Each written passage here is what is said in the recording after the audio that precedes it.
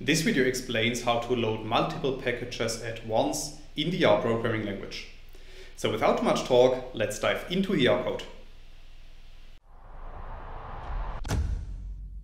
So let's assume that we want to load the packages dplyr, mice and stringr. Then we could load these packages one by one, as you can see in lines 2 to 4 of the code, by applying the library function to each of the packages. However, we could also specify a vector that contains the name of all packages that we want to use. And we can do that as you can see in line 6 of the code. So after running this line of code, a new data object called myPackages is appearing at the top right. And this data object contains a vector that contains character strings that identify the names of our packages that we want to load.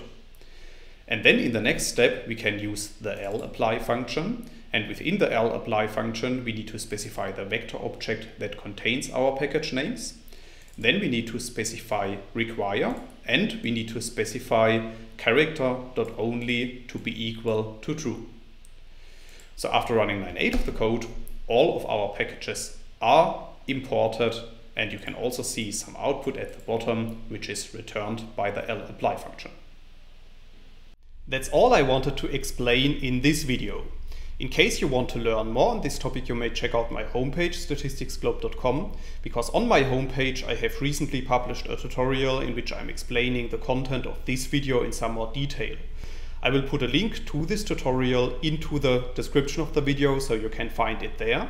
If you have liked this video or if you have any questions, let me know in the comments section below. I'll try to respond to all comments as soon as I can. Furthermore, make sure to subscribe to my YouTube channel to get notified about future video releases. I have already published about 500 videos on this channel and I'm releasing new videos on a daily basis. Thanks a lot for watching, see you in the next video.